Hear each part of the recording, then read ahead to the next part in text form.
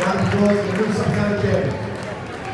We also have t-shirts for one year for the team.